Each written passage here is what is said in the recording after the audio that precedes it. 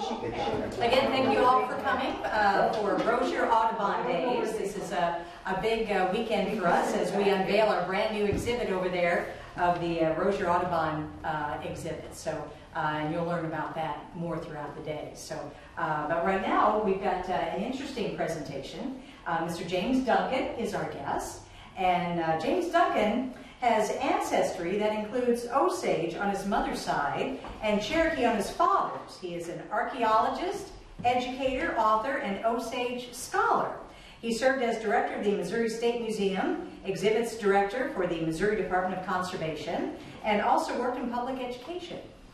Jim directed the Conservation Department's three-year statewide programming for the Lewis and Clark Bicentennial from 1983 to 1986. Jim has lectured at Washington University, the History Museum, and throughout the state uh, while on the Missouri Humanities Council Speakers Bureau. Jim co-authored the Petroglyphs and Pictographs of Missouri, co-edited The Rock Art of Eastern North America and Picture Cave, as well as published a number of articles on Osage icona, uh, icona, iconography. There you go. That's a tough one. And oral traditions in various edited volumes. Duncan is an accomplished historic gunsmith, specializing in 18th century American Indian trade guns, and has contributed essays on the early fur trade era. Okay, thank you very much for coming. so you can tell he knows his stuff. We brought him here uh, specifically today uh, to, to um, talk about uh, some of the guns that Audubon used uh, during his day. And uh, we've, we've titled his uh, presentation, uh, Birds and Buckshot. We thought that was kind of cute. so anyway, we'll turn things over to James, and we thank you so much. Thank you. Uh, I didn't write that thing. Most of the information is available on various posters that have been in the post office. couple of little things that we have to do, and I hope you don't mind, but one of the things we're doing now is we're doing land acknowledgments. Are any of you familiar with that? We always acknowledge that before the Spanish in 1541, the French 1673, the British 1763, and then the Americans, 1783. After all those people, the original inhabitants of Missouri were forced from their homeland by 1825, and Governor Lilburn Bogg declared it illegal for any American Indians to live within the boundaries of the state of Missouri. The original inhabitants called themselves Neonkonshka, people of the Middle Waters. And they were known to the French as Wajaji. We, we call them today the Osage. And along with them, the Illinois, Kaskaskia, Peoria, and others, seven in that confederacy. The Spanish moved Shawnee. They also were disinherited from their lands. So Missouri has not a happy record when it comes to indigenous peoples. So, for that matter, we remember them at all our presentations. And if you're anxious to know how much they were given for Missouri and the northern half of Arkansas, it was $2,500 a place to trade in the blacksmith. Now, on a brighter note, that's kind of a serious way to start things. But I think with what we have going on in our country today, it's best to remember things that really matter. And uh, because in the inside, we make the right choice, and it wasn't made in 1836 when Lilburn Bogg said it would be illegal for any Indians to live in Missouri. Okay, so we're talking about our favorite naturalist, John J. Audubon, and his association with Roziers. And by the way, one of my cousins married a Rozier. As you know, many of the French moved from St. Genevieve, started probably in 1830s maybe 1840s. Many French families moved to other locations. However, some stayed with us, thank goodness. Now, if you want to go on a fun day trip, go to the capital or the county seat of the Osage Nation in northeastern Oklahoma, and you will go to the big city cemetery and see all the tombstones, and you'll see the names Valet, Chouteau, Sophia, Little Bear, Chouteau, Papin. All those Frenchmen married Osage women. And they had to because they were in the fur trade. No man could preserve and felt buckskin as well as those women. And of course, you know, in the 18th century, they were the style. In Paris, the uh, dandies paraded with their buskins skin tight. I think they had to put them on wet like a chamois. With their small swords, they, they, they set the styles, but that was the fur trade. Now, coming in shortly after the height of the fur trade, we have the most famous naturalist, I think, in the world. Uh, a man of tremendous talent, and I'm not going to talk about the art, the prints, that's coming up. But what I want to talk about was what did he use to gather specimens? What do you think? How are you going to get some of those birds, hummingbirds, swifts, uh, hawks? How are you going to get those specimens? Somebody said, uh, trap them.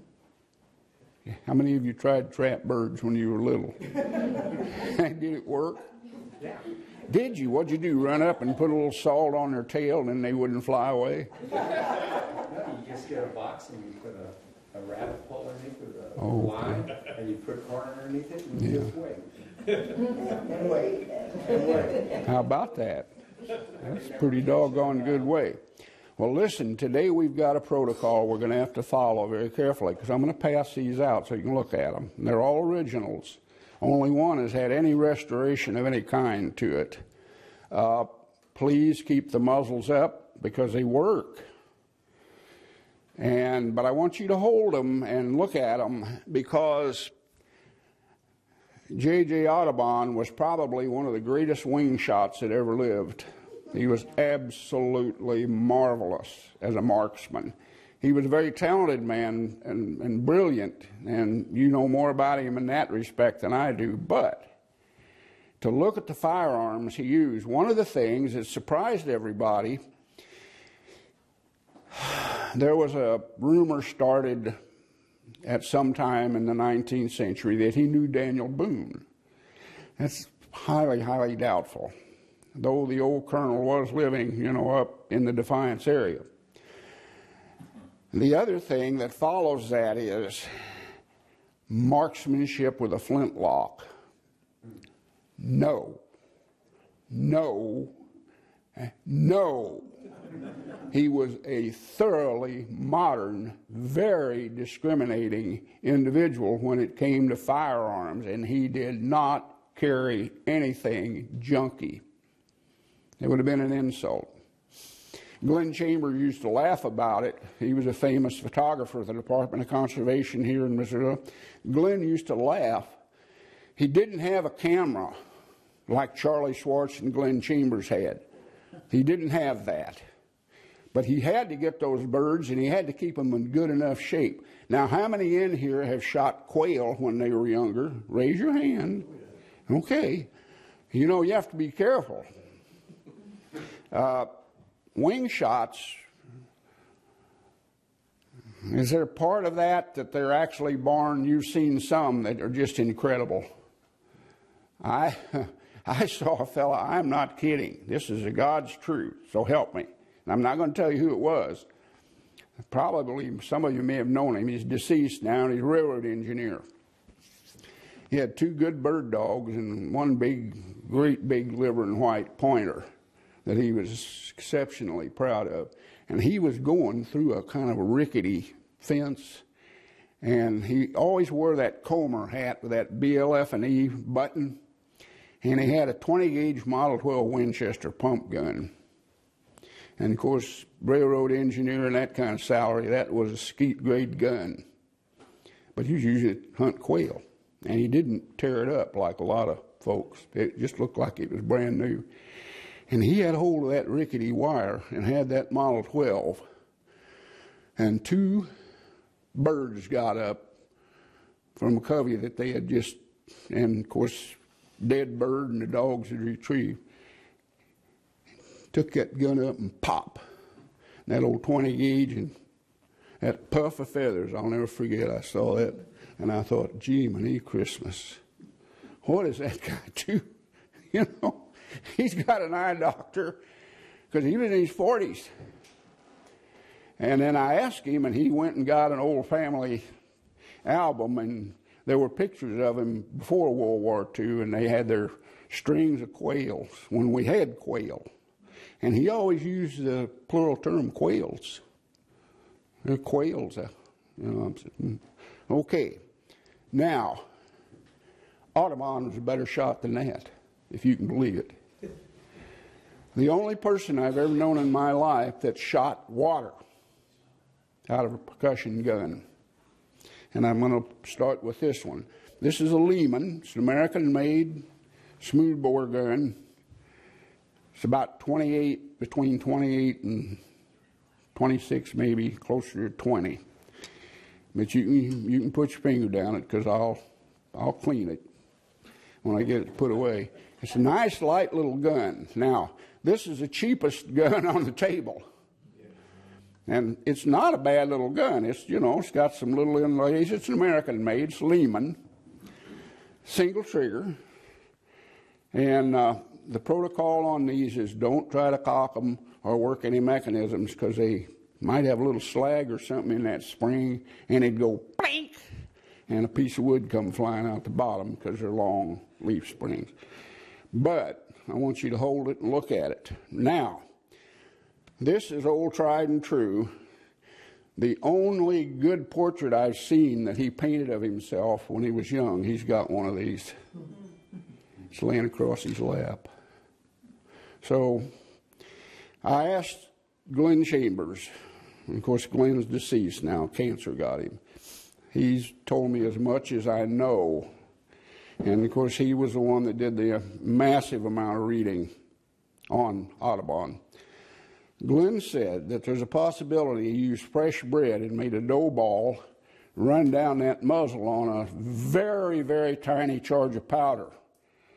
Now, this is a real trick. Those of you that have ever shot muzzle loading guns or gotten around old time, if you're old enough to have ever talked to an old time market hunter, Small charge, lots of shot.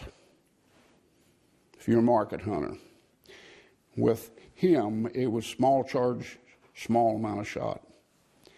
You don't want to tear up a specimen that you're going to make into a what? Piece of art. You want every feather. Uh, there's a couple different ways of doing it. So, what he may have done for very small swifts, hummingbirds, and that nature. Glenn thinks he had fresh bread. Went to a bakery and got a loaf of fresh bread and make a dough ball like you like to make. Eat, Mom, whip your butt, waste bread. You know that. And run that dough ball down on your charge. Not real hard. Run that dough ball down there, but be sure it's firm. And then you go after that little bitty quarry and you take a sip out of your flask and when you get ready for a shot and you don't wait long it's going to dissolve that bread and he would knock small birds out of the air just the concussion that's the truth now you got a bad little look but that's the truth he was that good You try it. Get you one of these. They're not too expensive. Do you have one? Well, we're going to pass this one around. It's a Leman. It's made in Pennsylvania. And it's the beginning of the what? Industrial Revolution in, in North America. We've got a nice company owned by a Moravian descended family of gun workers and gunsmiths, Leman, and they're building a nice little shotgun worth of money. So he probably wore out several of those guns. Being a smoothbore gun, what can you do if you have an accident and you get mud or something in the muzzle? Boom. You'll split it. Not the breech, but it'll ruin the barrel. And, you know, I'm sure he didn't do much of that, but it may have happened. You never know. So, anyway, that's old tried and true. He probably got 90% of his specimens. Now, did he use a shot snake? You've seen them. They're the long tube with the Irish. No, I don't think so. I think he was probably carrying very, very small size shot in a flask.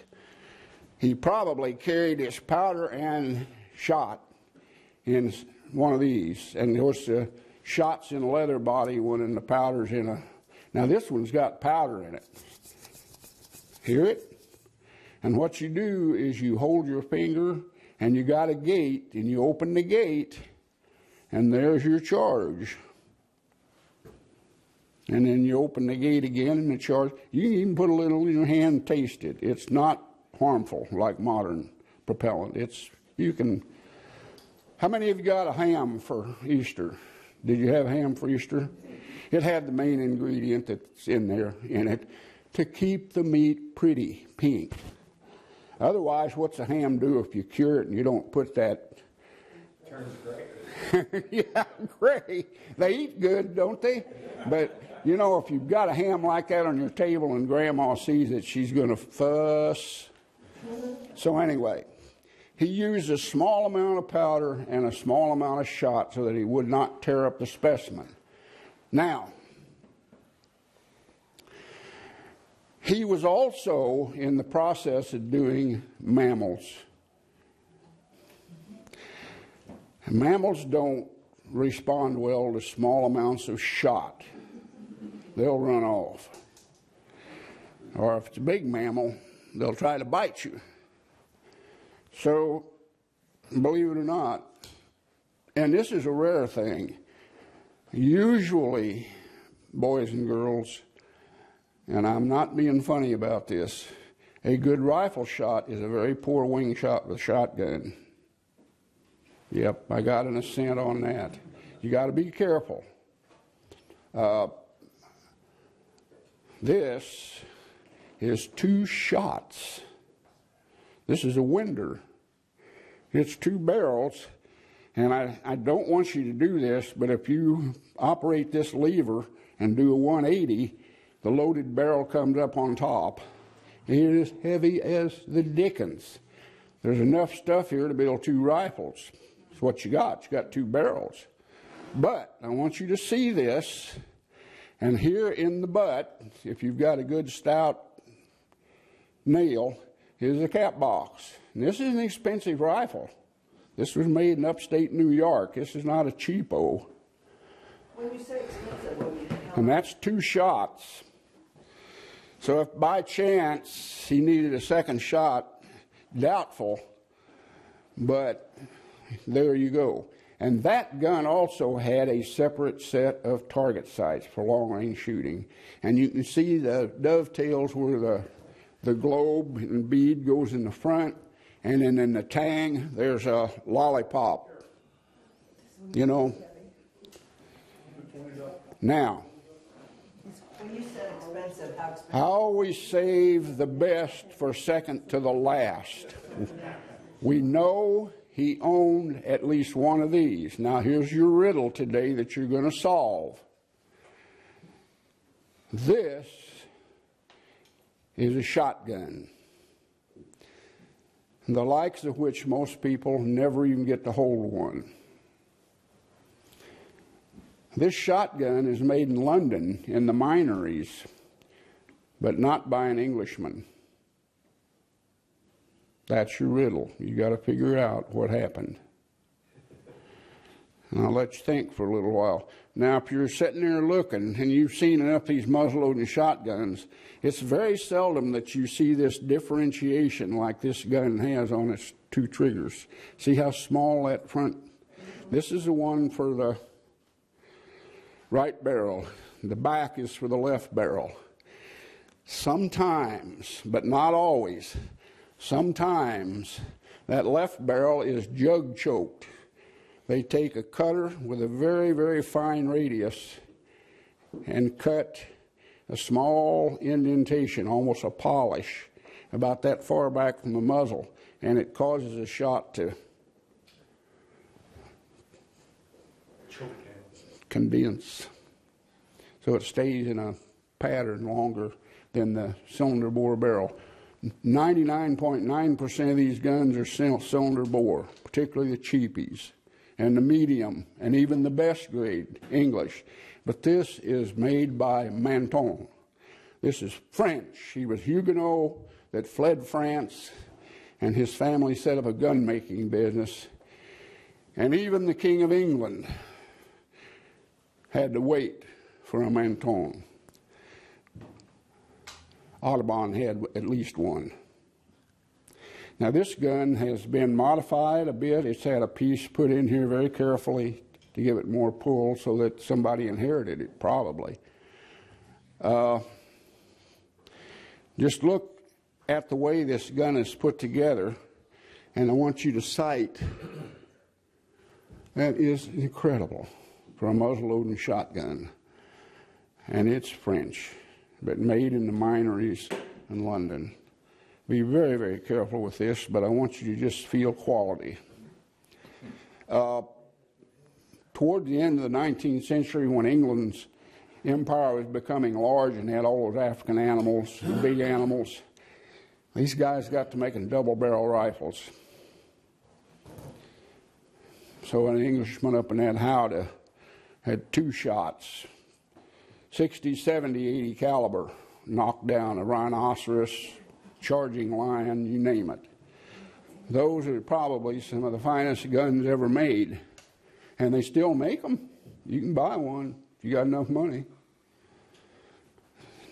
That doesn't belong to me. it belongs to a friend.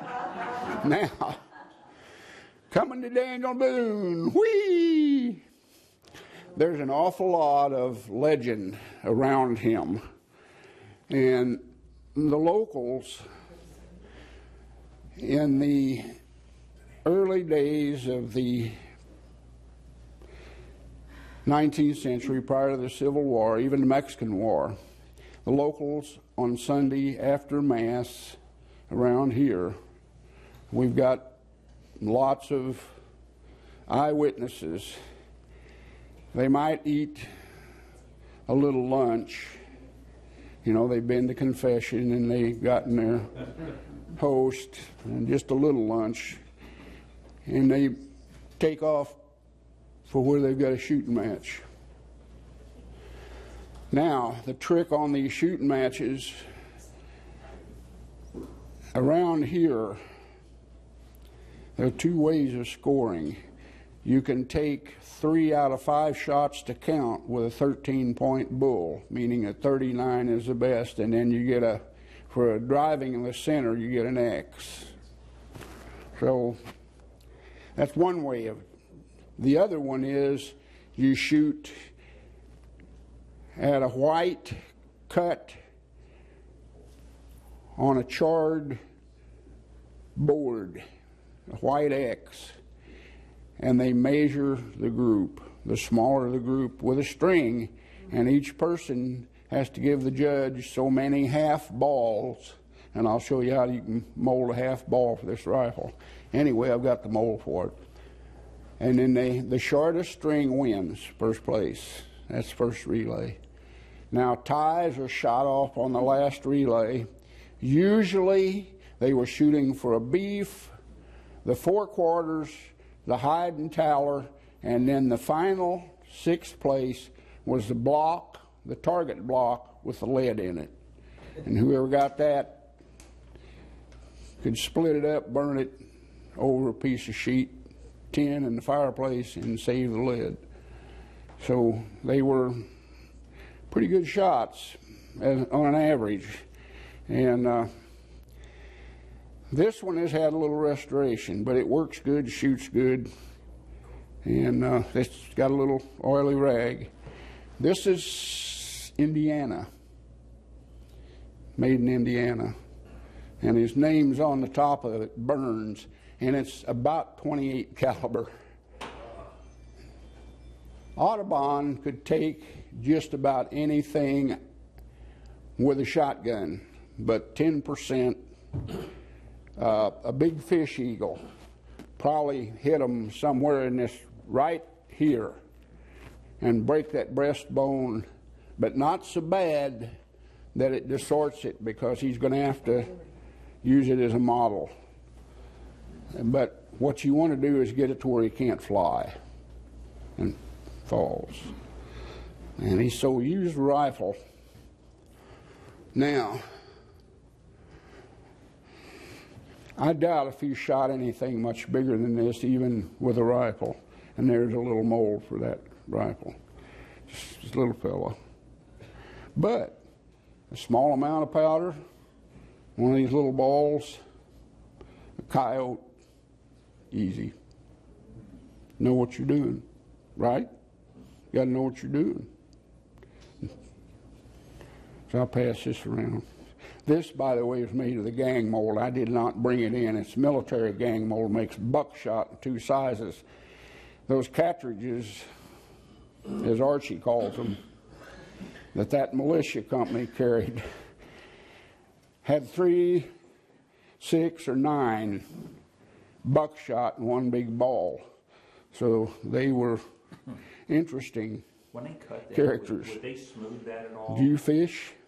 Pardon me? Did you fish as a young lady? Did you go fishing a lot? Go fishing. Oh, yes, when I was young. Yeah, yeah. My, my mom liked to fish. Did you ever go duck hunting with your? No, no, I didn't do You that. didn't do any shooting. No, I never, sh- I Okay. know how to use Well. I was thinking, uh, there are occasional times I've talked to people in the audience with this little show. Judge S.P. Dalton, who I think was one of the greatest sportsmen that ever walked the face of the earth, bought his wife a very fine double barrel shotgun for Christmas. and he always wanted her to go duck hunting with him. And he lived on Elmerine Avenue in Jeff City, and I had a paper out, came by every Friday evening and collected the 30 cents for the Jeff City News and Tribune. And Mrs. Dalton was always laughing, had a funny story or something, and she told me a good one on Judge and herself. And she said, Judge wanted to go duck hunting. And she said, Jimmy, the weather was absolutely terrible. But she said the ducks were flying.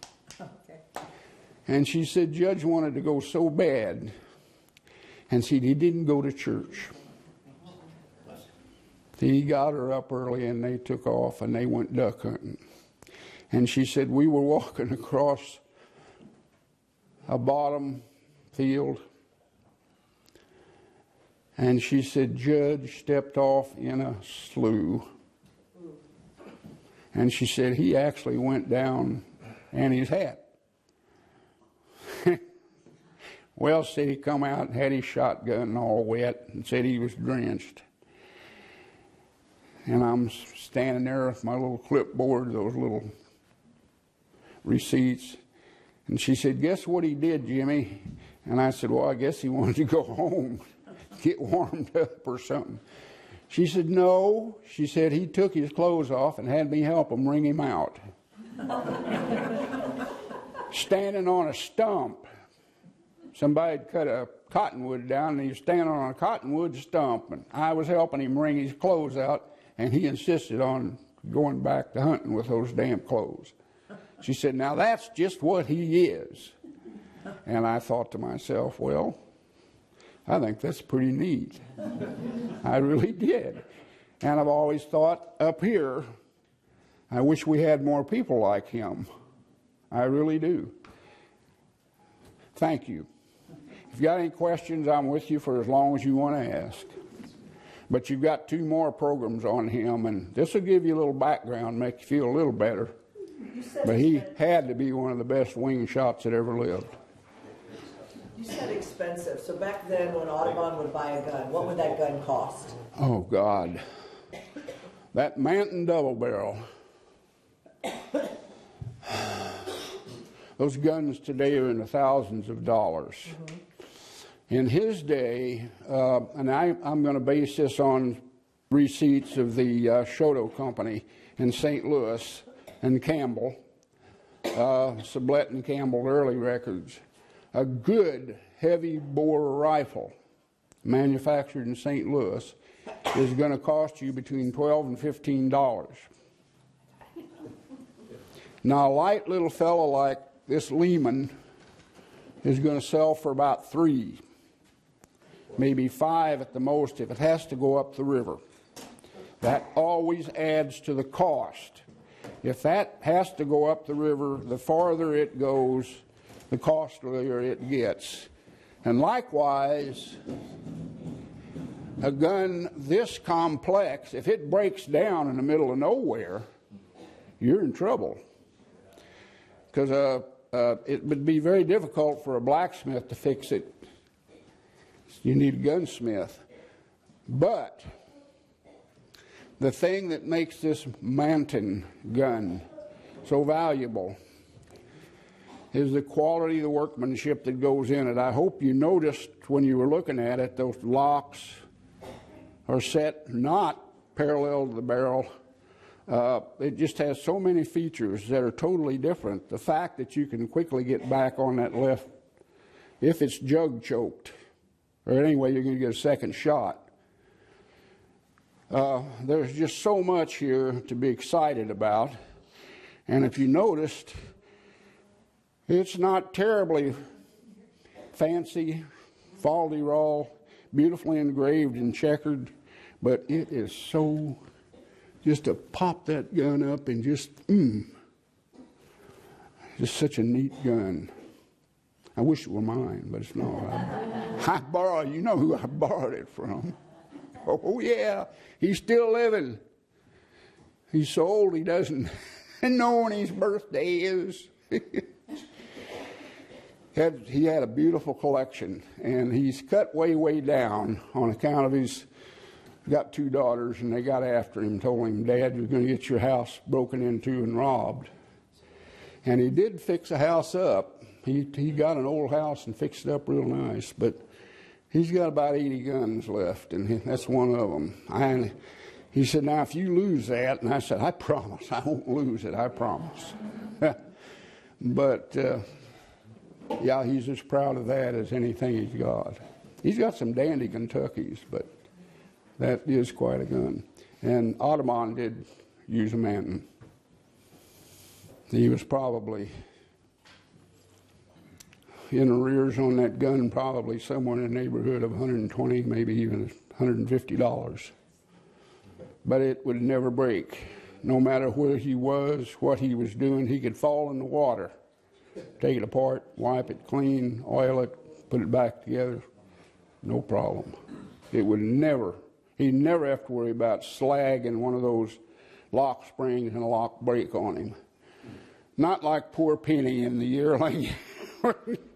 when old Slewfoot's on top of him and he had his old army musket, remember? Spring broke. Well, it actually collapsed, and Slew killed his good dog. Did, did he have a different gun for the mammals? Hmm? Did he have a different Yeah. gun for the mammals? Well, if he was after mammals, I doubt if he used shotgun. He was either with that Winder rifle or a single shot rifle. He was as good with a rifle as he was. That's the thing that makes him such a, an interesting character. Like we said, you know, you take a good wing shot, he's not, as a rule, not a good shot with a rifle. But he was with both. And uh, he was a character. What little I know about him. now, you talk about that Rozier trip up in New Orleans. That was amazing. but he was a very nice looking young man when he was young, very, very handsome.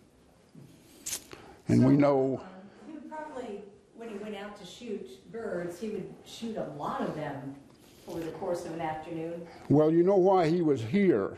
Because this is, and I messed up, shame on me, good for you. This is the largest flyaway in the world. Mississippi Valley, vertical, north south, is the largest flyaway in the world. Largest. More birds migrate. And in his day, boy, were they migrating. And uh, he recognized populations. He, used, he had a lot of insight.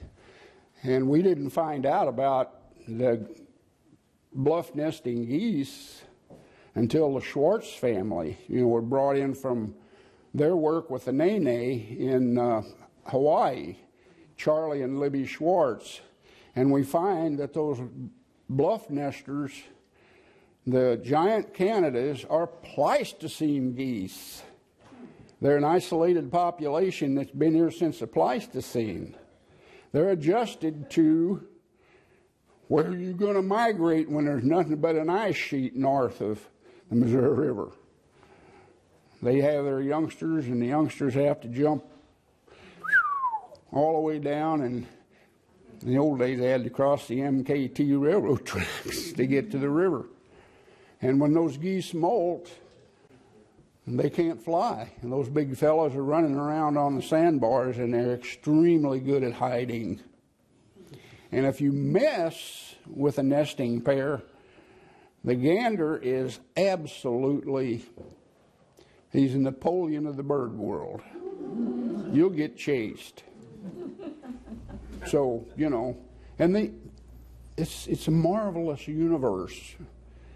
After all, they've been around a long time, and they're better adjusted to the environment than we are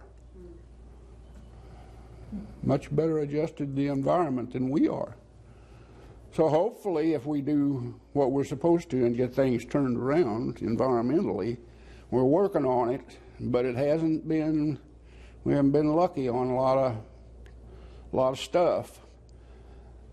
They are increasing in numbers, most of them, and of course the DU people have a lot to do with that. And I noticed, believe it or not, this is a little sideline hit there's often a late print by Audubon as a prize when they have the big DU drawings, and people pay a lot of money to get those tickets.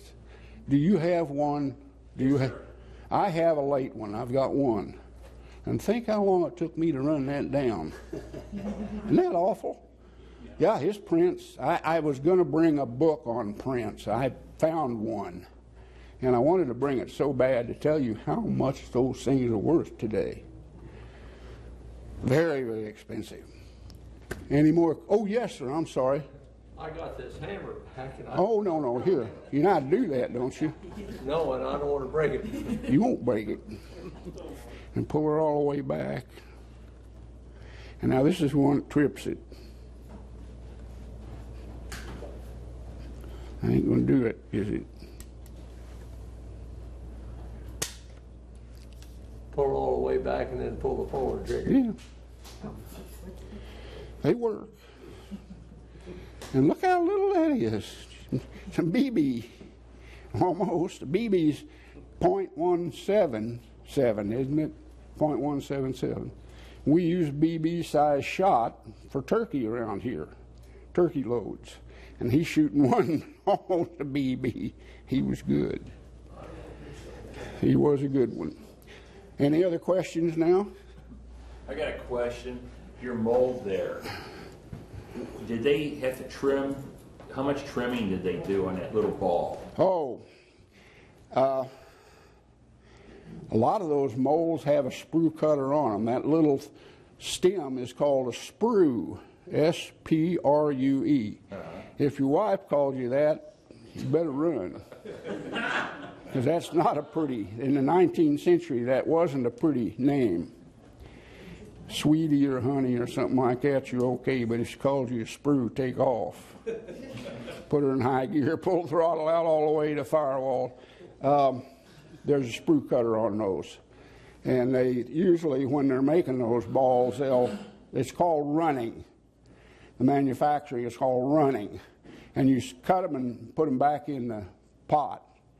And on an old wood stove, they usually have an extra plate that they had a hole made in the fiddle lid pot so they could run shot if they were hunters. And now you get electric pots. They have to be hooded. You got to have ventilation because you know wood vapor. I mean lead vaporizes and makes you, and you become like a mature green pepper. Heavy metal poisoning. Any others? Yes, sir. What kind of wood is that? Hmm. What kind of wood the gun? Stock? This one? What kind of wood, yeah? Oh, that's a piece of eastern uh, curly maple.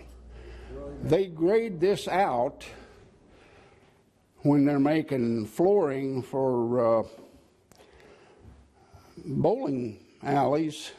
It causes the knives on the planers to chatter, and it, you know, so they grade it out, and it's called tiger tail or fiddleback. The other thing it, it does is it old eastern red maple, and that's the kind you can get maple syrup out of, is, is the wood.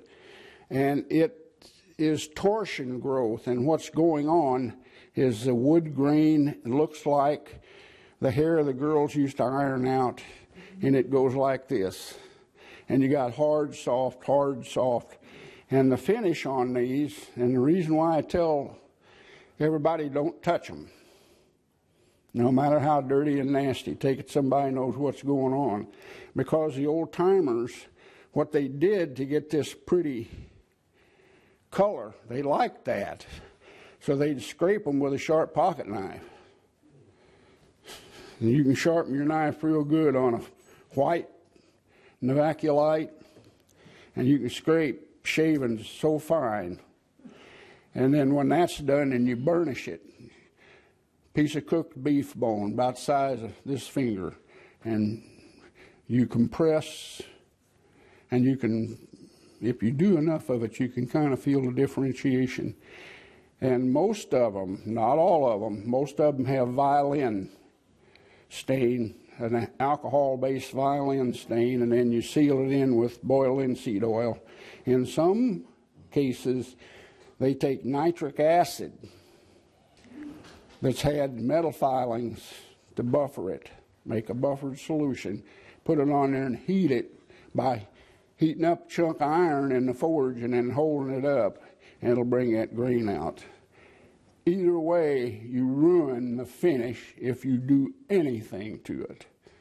And find somebody that knows what they're doing, and they'll tell you how to make it clean without ruining the finish. Because a finish like that is it's it's purposeful.